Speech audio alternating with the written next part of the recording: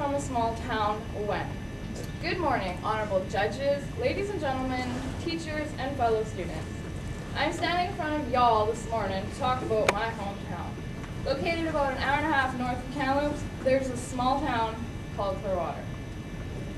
Now, this is when you know you live in a small town. You said the F word and your parents knew within an hour.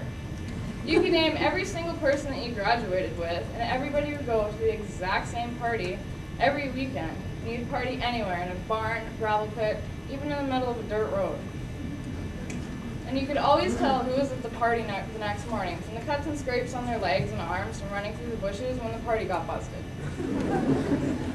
Being able to hit a road sign with a beer bottle while driving down the highway is considered a necessary skill.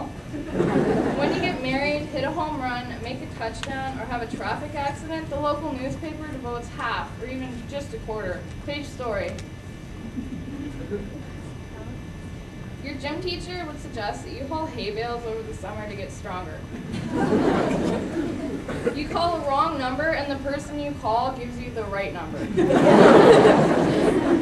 Oh, and by the way, it was quite normal to see a horse or two in the Dairy Queen drive-through. That's not a rare occurrence. It was always normal to see a, a retired man or two riding through the streets on a lawn tractor. And if you finally decided to get off your butt and go for a walk, at least five people would pull you over and ask if you wanted a ride.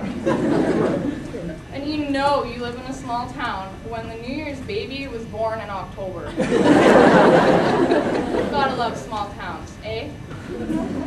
all attend the same school, Clearwater Secondary.